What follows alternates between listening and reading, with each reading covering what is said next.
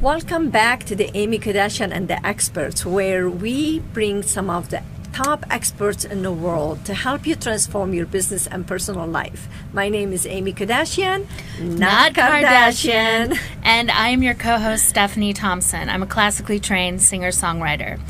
In this episode, we've been talking about investing in real estate. This is the third segment of four segments, and we're going to be talking about property management with Ajay Dayal. Hi, AJ. Hi. I really, really, really enjoyed the, the first couple segments we have with you. And the reason I did is because you explain everything exactly what people they need to know. Not just come invest, come invest, and we, will- you know, it's not about just the, the, the invest with you. It's about education. And people are dying to have someone like you who brings education to the table, not just want to take their money and just investment. So you care. And that's very important to me to have someone like you who cares about the other person, who explains why it's important for you right now to invest in real estate, in uh, business, and houses. So, in this segment, we're going to be talking about the Property management. property management, and that goes along with all real estate when you're buying something, uh, how you need to manage that. So, please educate us.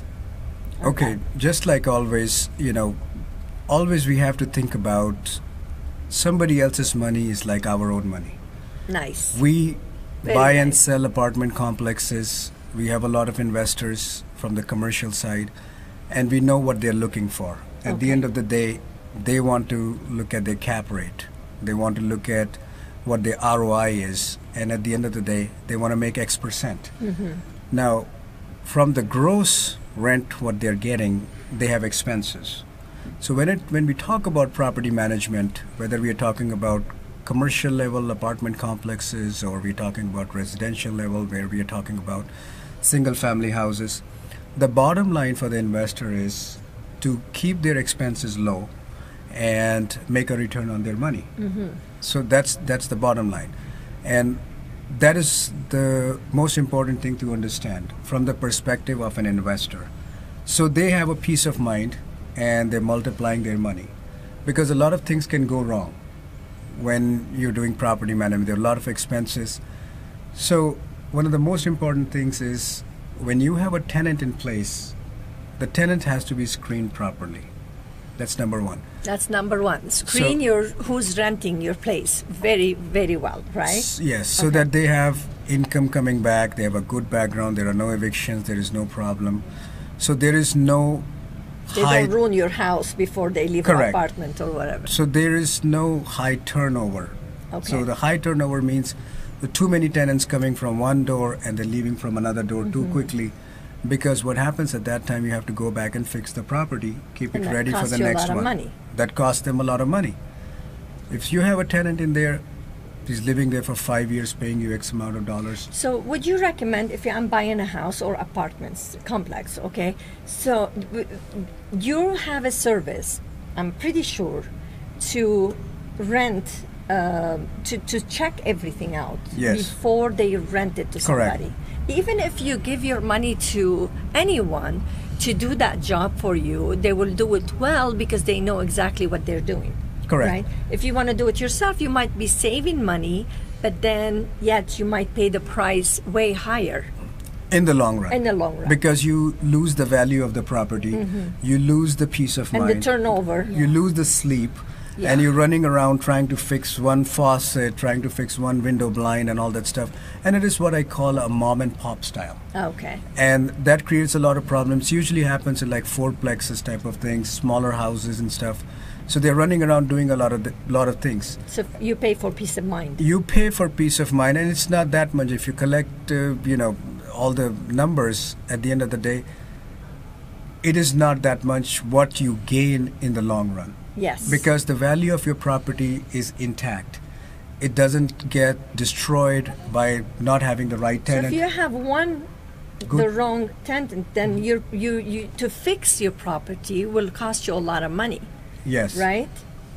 To fix it, then find another person Another to go person in. to run it. then you rent it again and you don't build a relationship everything in business is basically based on relationships. Yes. You have to have pick out the right person who wants to be your tenant, pick out the right property management company that wants to manage your properties and build that relationship. So you have a peace of mind, the value of your property goes in, your expenses are low, your turnover rate is low, and at the end of the day, uh, you're gaining and you're you're getting more and more of the income side so that you can take that money and invest in another property. In another property. We have uh, clients that have 60, almost 60 uh, commercial real estate properties uh, in several different states or more, uh, over $100 million.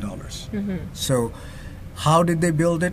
They started with one property here, one property there, but proper property management is really, really important. by doing it right because now you're not spending your time and your energy and your money trying to rent it and rent it and rent it your your energy and time is spent by investing the money is coming to Correct. different property Yes. and this is what where your energy needs to go Exactly.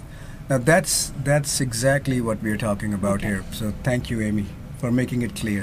sure So once you have invested in the first of all, pick out the right property where you want to invest. Hire a good property management company.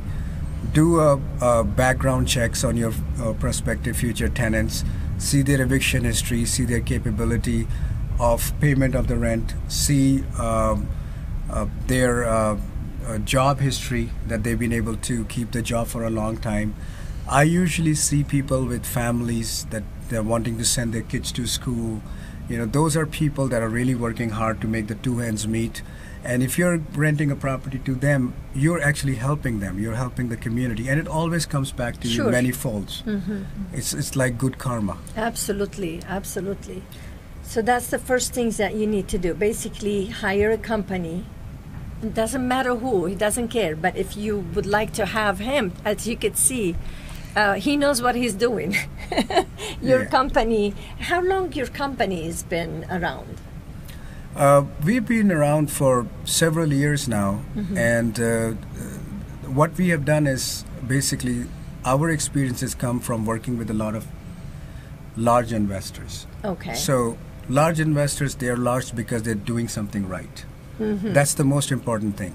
And uh, so, to make their money multiply and grow, you don't take a lot of risks, you don't make a lot of mistakes, and you definitely don't repeat your mistakes. yeah. And we have an ability to bring that to a smaller investor. So let's say you have one or two houses or you have 10 houses.